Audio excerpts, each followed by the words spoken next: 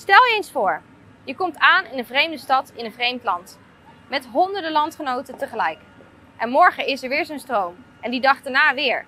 Omdat je eigen land in oorlog is. Dat was de realiteit voor duizenden Oekraïners die hun land vanwege de oorlog moesten ontvluchten. Op 24 februari 2022 viel Rusland Oekraïne binnen, waardoor een langlopend conflict tussen beide landen escaleerde. Ruim 8 miljoen Oekraïners ontvluchten hun land vanwege het geweld en dus kwam er een enorme migratiestroom op gang. Op dit moment staan ruim 100.000 Oekraïners geregistreerd bij Nederlandse gemeenten. En op het moment dat we deze video opnemen, is de oorlog nog steeds in volle gang. Voor duizenden Oekraïners begint hun verblijf in Nederland hier, in half vijf van de jaarbeurs. Maar bij binnenkomst, hoe ziet dat proces er eigenlijk uit? Wat moeten ze doen? Onze collega Meike weet er alles vanaf. Als mensen hier binnenkomen, dan melden ze zich bij de balie. dan worden ze ingeschreven, wordt gekeken, voldoe je aan de richtlijn. Ehm, als dat zo is, dan worden ze geregistreerd.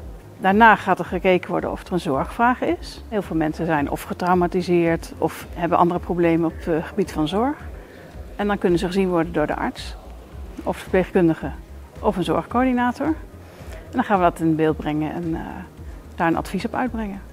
Geen veldbedden werd van tevoren gezegd. Maar nu staan er toch 300 in de jaarbeurs. Klaar voor de vluchtelingenstroom vanuit Oekraïne.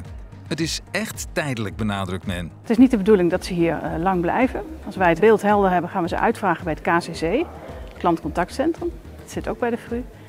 Uh, die gaan dan een plekje zoeken in eerste instantie in de regio Utrecht, maar daar is weinig plaats en dan gaan ze het landelijk uitvragen. Proberen we vaak wel te koppelen aan, uh, als het is een gezinshereniging, om de mensen, familieleden bij elkaar te krijgen. Maar het is geen wet van mede en persen. Dus iemand kan, een moeder kan geplaatst worden in Hilversum en een dochter kan vier maanden later hier komen, die kan in Groningen worden geplaatst. Dat proberen we, dat vind ik wel een van de grootste uitdagingen, dat we dat proberen voor elkaar te krijgen. Als dat lukt, dan hebben we ontzettend goed ons werk gedaan. En dan zien we echt hele dolblije uh, mensen uit Oekraïne.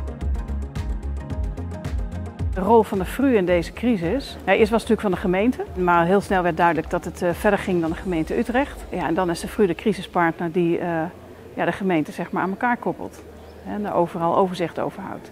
Dus toen is het overgegaan naar de FRU. Ja, door de coronacrisis is de FRU natuurlijk wel op de kaart gezet. Hè? Uh, niemand wist daarvoor wat de veiligheidsregio was, maar dat weet nu iedereen. Bij deze crisis ook, hè, zodra het de gemeentes overstijgt. Je hebt natuurlijk een landelijk proces, maar daar, daar, zit een groot gat tussen. En dan is de veiligheidsregio nou, bij, uitstek de plek waar je deze zorg neer gaat leggen. Toen wij startten hier, toen hadden we natuurlijk geen enkel besef van wat het zou betekenen. we startten met 30, 40, 50, 60 mensen per dag. Dat werden er op enig moment 100.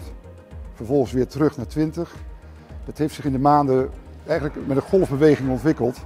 En op dit moment zitten we weer op 50, 40, 50 ontheemden uit Oekraïne per dag. Dus het is, er is weinig van te zeggen. Maar we hebben inmiddels, denk ik, 15.000 mensen hier ontvangen. En doorgeleid naar een opvanglocatie, of in de regio of landelijk. Uh, en waar het eindigt, voor ons echt absoluut een, uh, een black box. We zitten hier met ongeveer 60, 70 vaste medewerkers. Uh, het, is een, het, is een, hechte groep. Ik denk dat 90% van de mensen gestart is in maart 2022 en nog steeds hier werkzaam is. Mensen zijn echt bevlogen, hard voor de zaak. Hard voor de zaak die we hier elke dag toch uitvoeren. Sterke loyaliteit aan elkaar. Bespreken ook de moeilijke casussen met elkaar. En af en toe vieren we ook het leven met elkaar. Ja, is het mooiste werk wat er is, uh, hier te werken. Want je kunt echt iets betekenen voor mensen. Mensen komen binnen, je wil ze een veilige plek geven. Uh, ja, daar hou ik van. Ik ben een mensenmens. Ook hier onderling met de mensen vind ik heel fijn om te werken. Je geeft mensen een veilige plek en je helpt ze om een stapje verder te zetten in een, uh, in een heel onzeker leven. En dat is mooi.